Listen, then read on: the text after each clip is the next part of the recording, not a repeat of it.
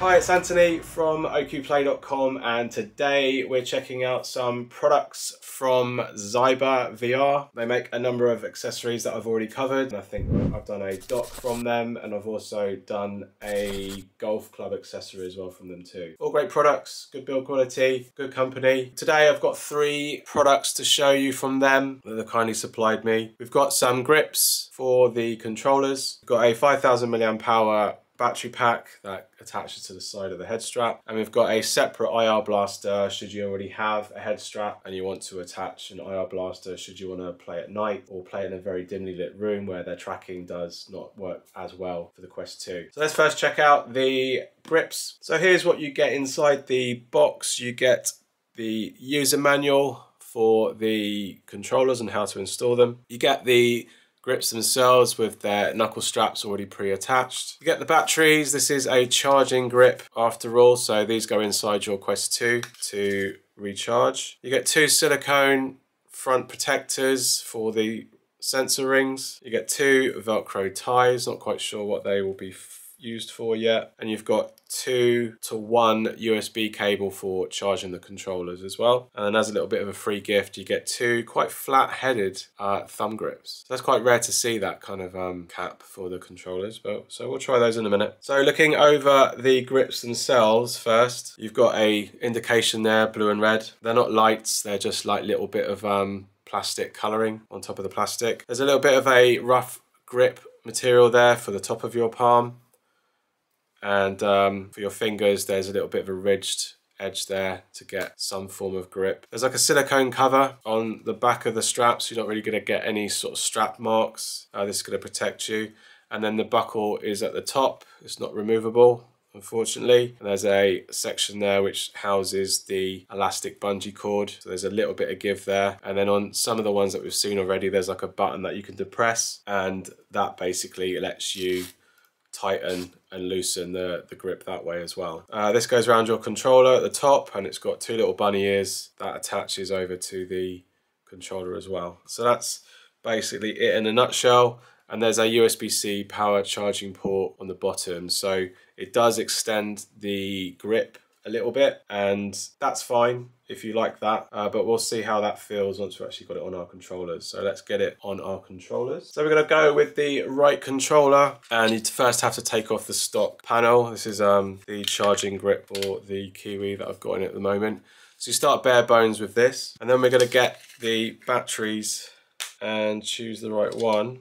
Right indication on here, got the right indicator. This goes into the bottom. So with the plus facing downwards, that goes up in there and then that sits in the controller like that. So these little pins are going to come through and contact a section of the controller. So I assume this is the right one. So we leave that bare bones and then we basically push this all the way through until it kind of clicks in such as like that. The grip gets uh, not sort of covered in any way, so that still functions just fine. And then we bring these bunny ears over and secure them in place. So with this, it's not going to block that many sensors at the front.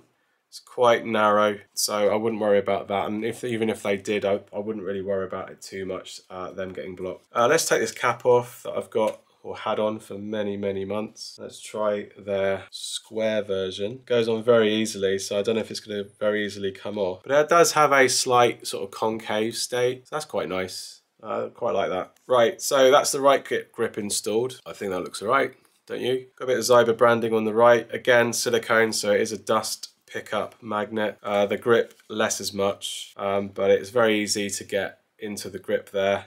And then you just pull that that will wear down over time. Uh, any grip that has this kind of bungee material, it will wear down. So what I recommend is that you get this to a not so tight, sort of give it a de depress once or twice um, with the weight of the controller pushing down. And then you really shouldn't really need to have this super tight because when you're boxing or you're doing any sort of fast movement, this is not really shouldn't really be you shouldn't really be letting go as such. So this is only really to support the back of your hand. So if you were to let go there is support there and it shouldn't really go flying off. If you're really that bothered you'll have the wrist strap on anyway. But I've never had the wrist, wrist strap. This is totally fine.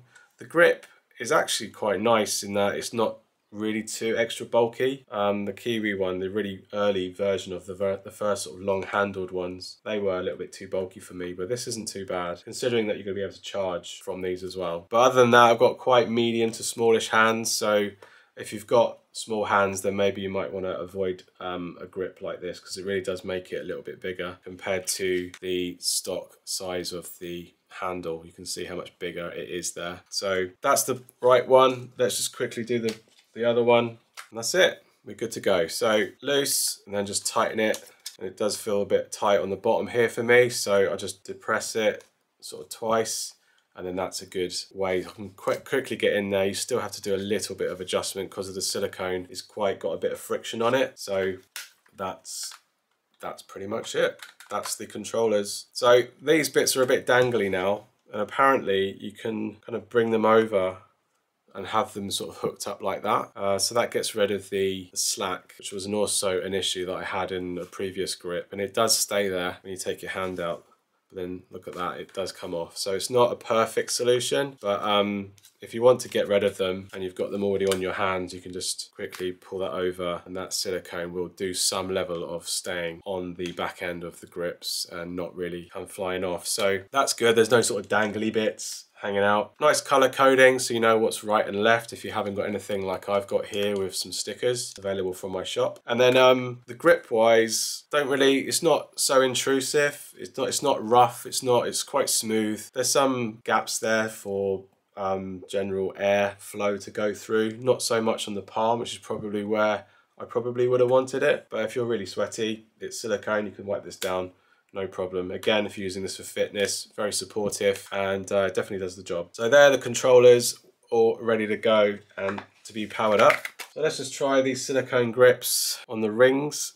So they're not really labeled in any way. They look pretty universal. So let's just try one. And if I if it works, I just got lucky. Um, I'd say that's the opposite way. So you have to do this on the underside. Okay, so I think you've got to take off this element, put this on. I'm not a fan of sensor rings. I think unless you play in a very close environment uh, space in your home where you've got lots of potential things that you can hit, then yes, sensor rings are a good idea. But if you're lit, if you're mostly playing in an open space, I personally don't think you need them. And it's an accessory that a lot of companies and things try and um, push onto you as a thing that you should really have. Don't get me wrong, the Halo rings are good and probably worth investing if you're a first time VR player. But if you're a little bit more of a veteran, you've played it a lot of times over about a year or so, you might find you don't use them anymore like I have. So that goes over the sensor ring like that. Keeps it in place. It does lift up the sensor ring a little bit. But again, it's a silicone cover. So you can already feel that there's dust on there. Um, it's not like smooth. I would have liked a, a, better material. It does fit in there okay nicely though. Being see-through, it shouldn't really affect the emitters that much. But honestly I don't think I need them so I wouldn't be using them but I'll keep these on for now let's get the other one on right so that's the left one fitted um, takes a little bit of uh, adjustment to get it over the side of the sensor ring but once you've got it on there it's fine and again it's picking up all the dust. Right, so that's the left hand side sensor ring all sorted. I'll give these a little bit of a play and see how I get on. It does lift up now and then in various areas. So that's the sensor rings all done. So let's have a go at charging. So um, I'm not really sure what these were actually for, other than if you were to lose the cable, perhaps. Um, manual doesn't say anything, so they're just some free cables if you want to use them.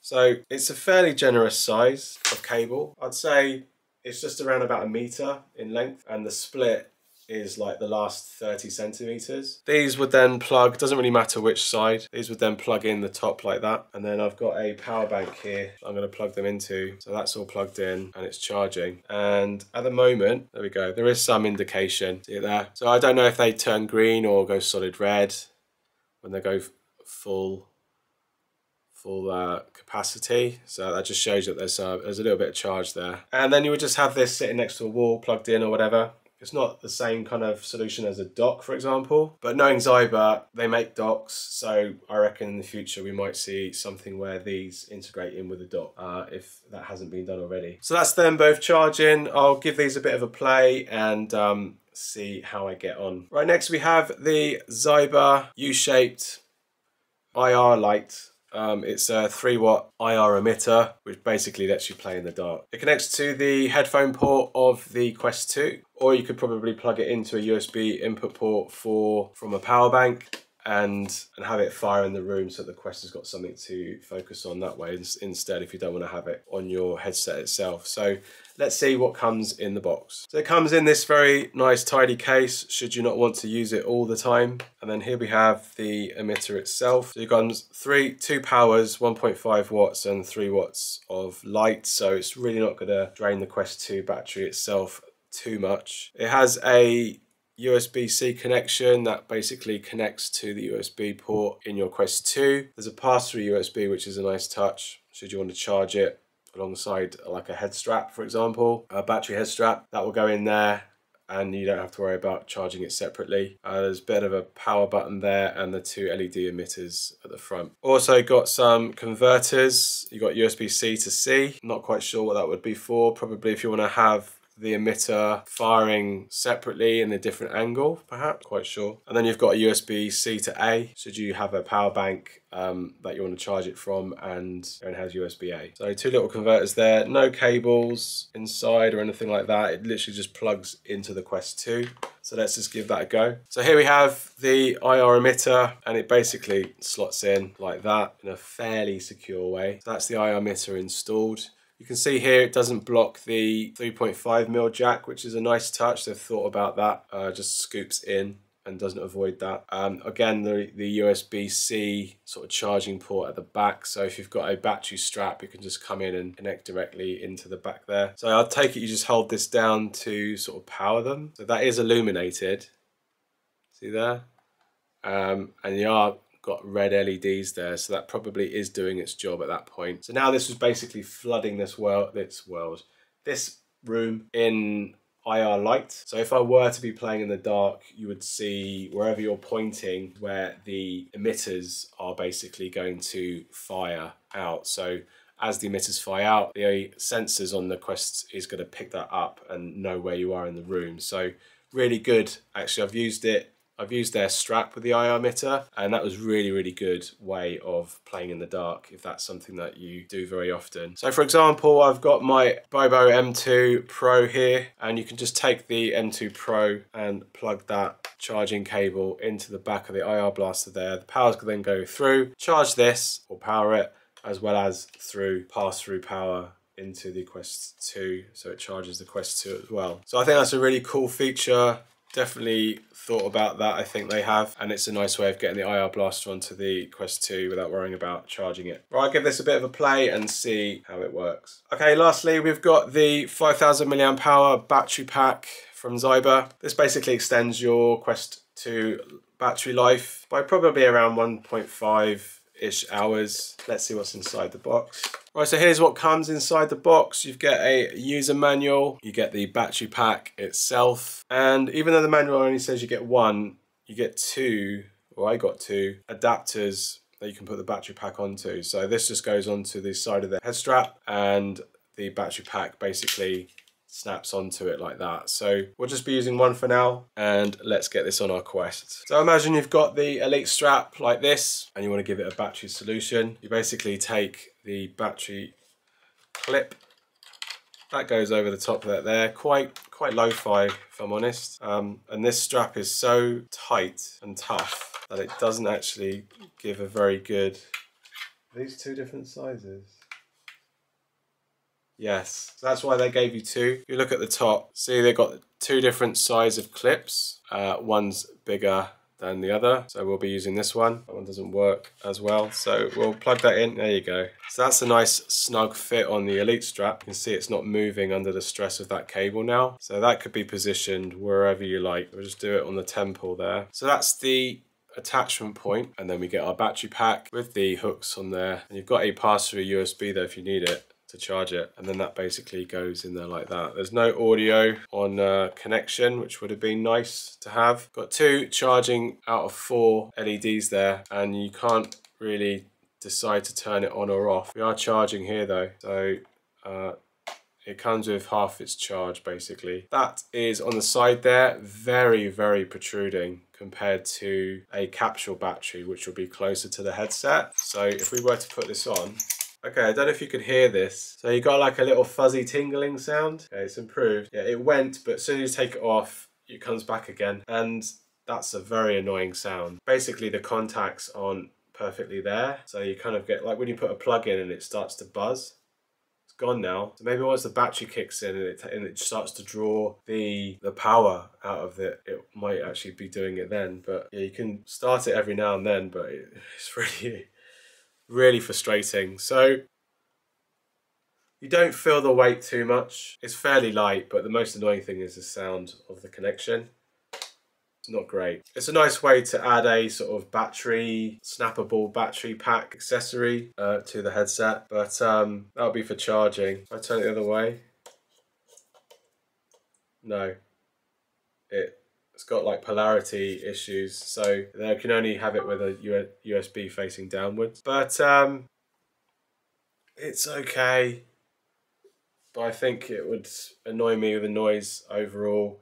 And I think this whole lo-fi way of connection would have been so much better just by shoving it in the side of the battery pack or doing a similar thing with Bobo VR where you've actually got a wire cable and it's at the back of the headset using their proprietary battery, that would have been a better solution. I think battery should really be on or at the back here. Ideally, the more so at the back rather than at the sides.